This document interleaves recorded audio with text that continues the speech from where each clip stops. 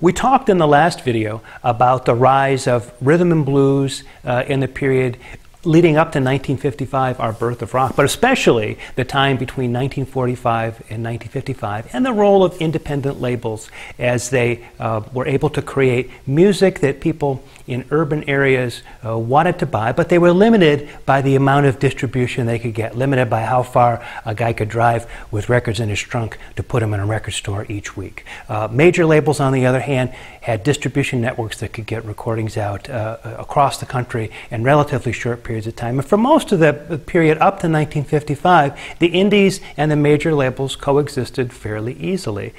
That apple cart was upset in 1955 with the rise of rock. But we're anticipating our story. Let's talk now about the rise of regional R&B uh, radio in the 1950s.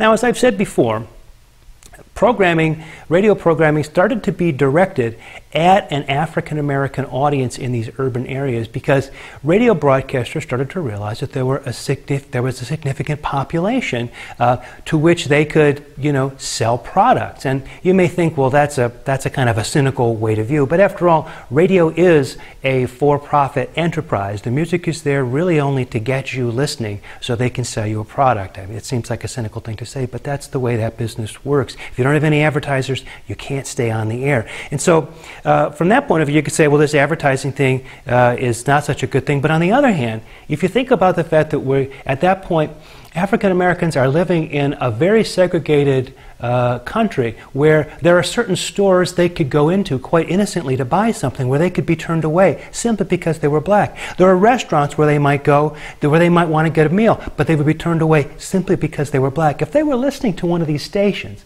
and they heard an advertiser advertising on their station. They knew they could go to that business, be it a restaurant or a theater or, uh, or a store or something like that, and their business would be welcomed. So, to a certain extent, these, uh, these radio stations, even though they were about selling advertising and using music that they thought um, black listeners would appreciate to do so. We're actually providing a public service in that they were helping folks out from that point of view. At least um, that's that's a kind of a more positive way to think about it. Some of the most important R&B stations uh, that rose up were uh, WDIA in Memphis, and on the on the air there were Rufus Thomas and BB King. You thought he was originally a blues guitarist, and he's always been a blues guitarist, but he was a DJ in Memphis. Also in Memphis, WHBQ which featured Dewey Phillips, the guy who originally played That's All Right Mama on the radio in 1954 after Elvis Presley had recorded it at Sun Records. WLAC in Nashville, Gene Nobles, John R. Richbourg, and Hoss Allen were the DJs there.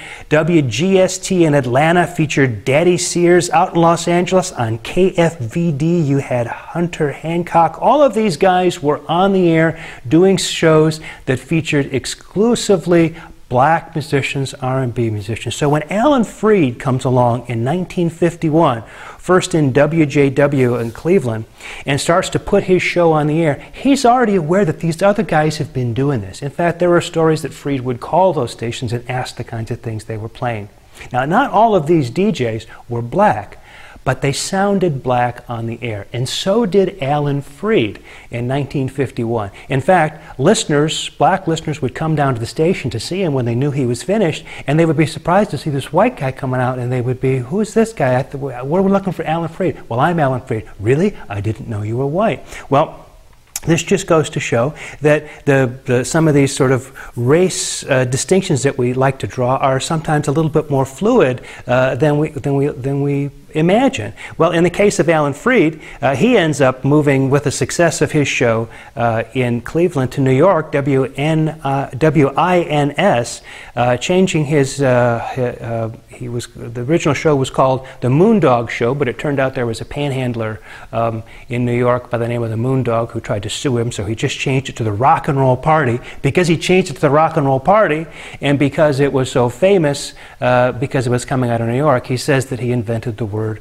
rock and roll. Well, however that may be, the fact is that because the radio population that had been part of the national audience up to 1945 was now migrating to television that offered these opportunities in radio R&B regional radio folks took advantage of that. They started to play a lot of this black music because black uh, folks were now moving up from the rural areas into the northern cities, and so there was an opportunity for uh, to sell advertising on these stations. And so far, so good. Everything's fine. What could possibly be disruptive about the fact that a black community is listening to black music on a black station and going into businesses and frequenting businesses that welcome their business? Everything is fine. But the problem is, or the problem came to be, not a problem for us, we celebrate it, was that white teenagers could also hear those stations. Because just about this time, radios were starting to become portable. You could have a radio in your car.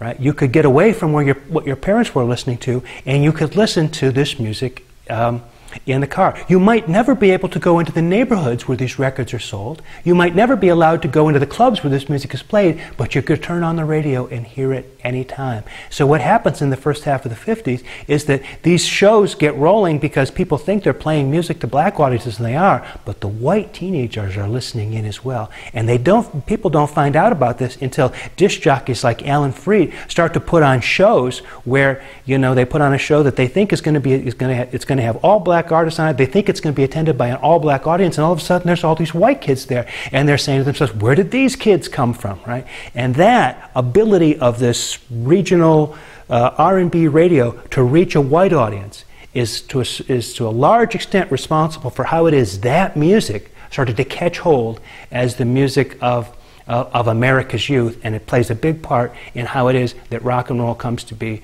uh, an important style in 1955.